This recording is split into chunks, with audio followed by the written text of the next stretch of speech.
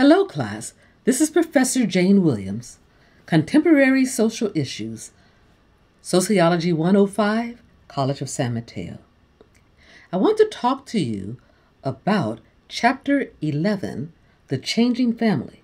And this is just a brief talk. I know you're still, some of you, um, getting your grades back from the midterm or waiting for your grades from the midterm and yet at the same time trying to move forward with your eye toward the end of the semester. So, before I get busy with this chapter, let me say this. Okay, first of all, we of course have our final exam coming up, and what you can expect there will be in the neighborhood of about 76 questions. They will be very much like the questions you receive on your pretest for each chapter. So now you have you can feel comfortable because you understand the format. There will be some essay questions. There are somewhere in the neighborhood of 4 to 7 of them.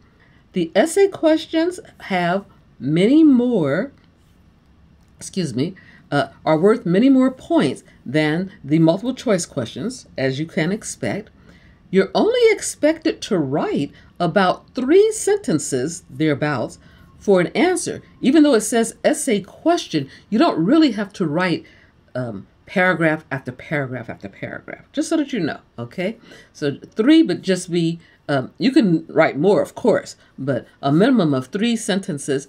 And, um, but you want to be accurate, of course, and be thorough. So if you need more words to do that, feel free. All right. So that's one thing that's coming up for us.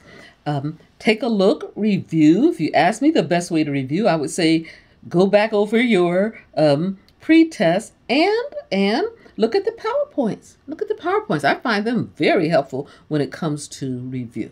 But anyway, let me get now to chapter 11, which is the changing family.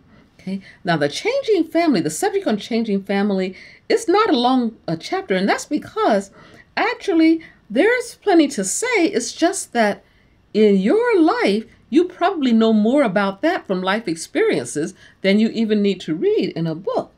If I ask you about changing families, you're going to say something to me about um, single parent households. I know this. You're going to talk to me about um, woman, female led households.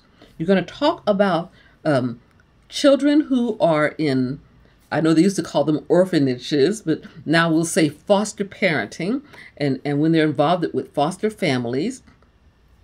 And you're going to talk to me about blended families where children from different parents come together and the parents too also come together and form their own families. And what all that means and how it is a change in our society from what we used to call the nuclear family father, um, mother, and the children, like that. That That is changing a lot.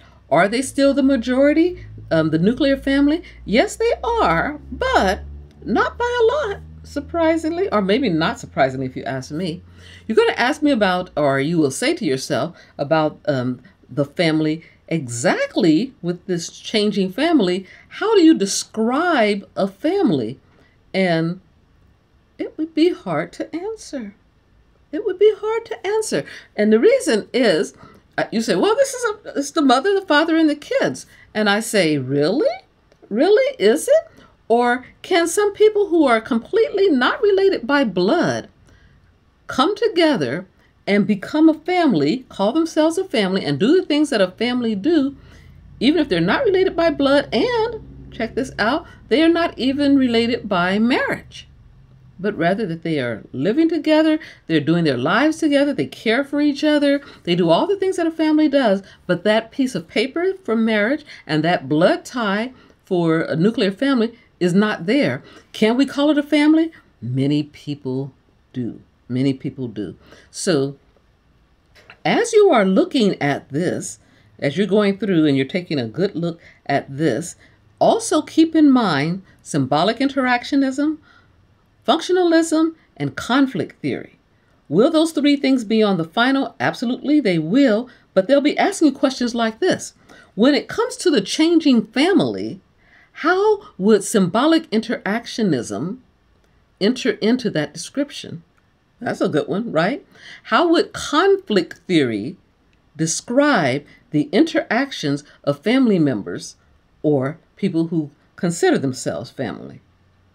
Yeah, give that a little thought, right? Give that a little thought in how you would possibly answer that.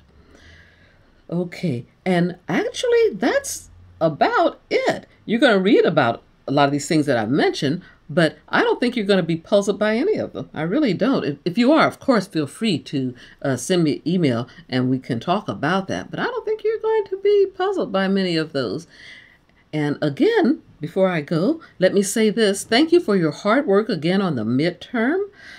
I saw some excellent presentations, excellent presentations, and some good quizzes. I saw some quizzes that were not so good.